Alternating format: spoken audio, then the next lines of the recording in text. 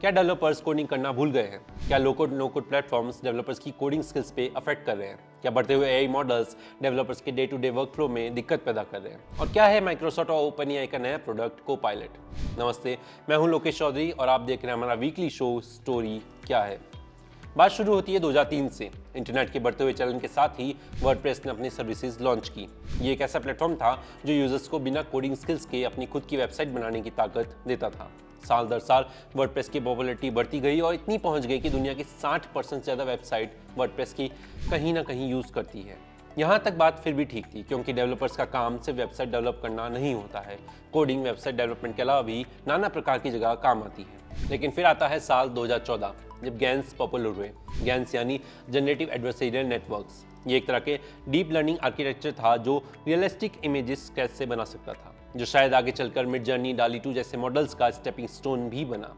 और यहीं से रिसर्चर्स ने अलग अलग सेगमेंट्स में गैंस डेवलप करने शुरू किए। तीन साल बाद एक डीप लर्निंग आर्किटेक्चर आता है, जिसका नाम था ट्रांसफॉर्मर ट्रांसफॉर्मर अपने अंदर काफ़ी लार्ज लैंग्वेज मॉडल्स जैसे जी पी थ्री लैमडा वगैरह को समेटे हुए था। और ये शायद उन कुछ पहले इंसिडेंसेस में था जब कोई मॉडल कोड लिख सकता था। उसके बाद एक से बढ़कर एक एआई मॉडल आते गए जो डेवलपर्स को कोड ना लिखने में मदद करने लगे।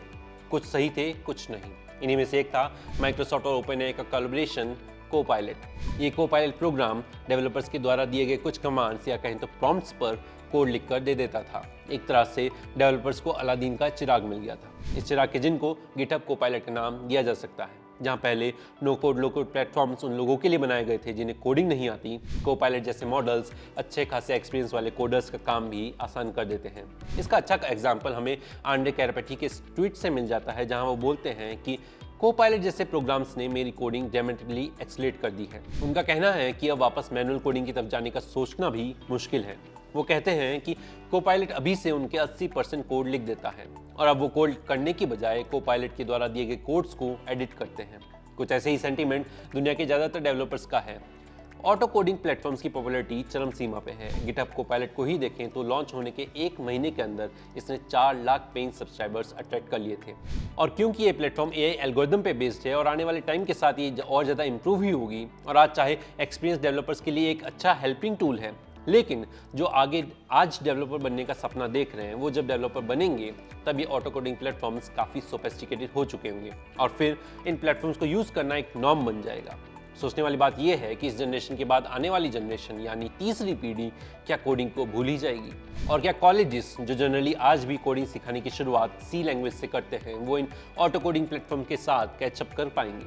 लेकिन फिर कुछ लोग ये भी मानते हैं कि आज कंप्यूटर यूज़ करने के लिए लोगों को ट्रांजिस्टर्स की नॉलेज ज़रूरी नहीं है। 99 परसेंट कंप्यूटर्स यूज़र्स को उनके कंप्यूटर में कौन से पार्ट यूज़ हो रहे हैं, उसकी जानकारी नहीं है।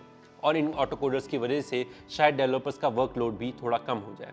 और कोड लिखने में जो टाइम वेस्ट हो रहा है, उसकी जगह कुछ प्रोडक्टिव सोच पाए। आपका क्या मानना है? इन ऑटो कोडिंग प्लेटफॉर्म्स की वजह से डेवलपर्स क्या प्रोग्रामिंग करना ही भूल जाएँगे?